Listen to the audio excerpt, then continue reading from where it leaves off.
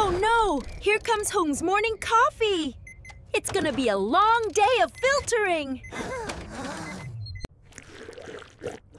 This fuel, as Hung calls it, is more like industrial strength drain cleaner to me. My poor nephrons are working overtime. It's like a never ending recycling nightmare. Here comes Night of the Salty Noodles.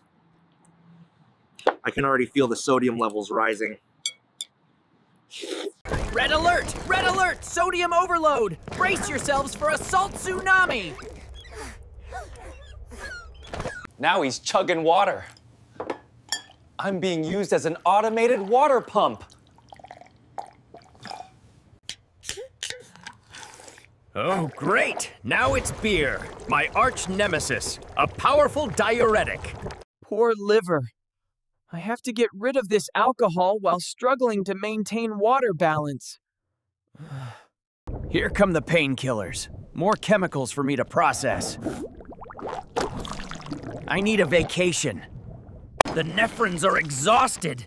It's like they're using tiny sledgehammers on my filters. Oh, the sweet whirl of soda and salty snacks. More acid and sugar for me to handle. Incoming kidney stones. Those sparkly demons of self destruction. A kidney stone attack. I can feel the tiny crystals scraping and tearing. Please, take care of yourselves. Drink water, reduce salt and sugar, and listen to your body. Oh no, not another energy drink.